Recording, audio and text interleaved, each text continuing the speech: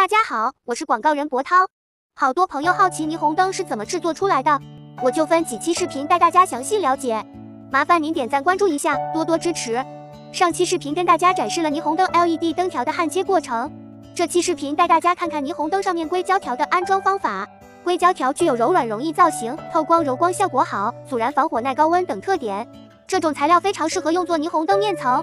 霓虹灯的底板是用专用刀具雕刻出来的灯槽，灯槽预留卡口，硅胶条就直接安装在卡口上，用刀具裁切合适的尺寸塞进灯槽就可以了，不需要胶水粘接，这样后期维护比较方便。硅胶条的宽度有十二毫米、八毫米、六毫米三种规格，市面上常用八毫米宽的。切割硅胶条有几个小工具，下面介绍一下。第一个工具就是美工刀，用来切断硅胶条，直接头和斜接头都是美工刀切割的。第二个是圆弧切刀，用在笔画的起始位置，切出来是弧形的，非常美观圆润。第三种是直角切刀，用在造型需要拐角的部位，用直角刀切出一个直角，然后折过去。根据图案，这三种切刀配合使用，就能完成硅胶条的裁切和安装了。视频拍摄和制作不容易，都看到这里了，点赞关注一下吧。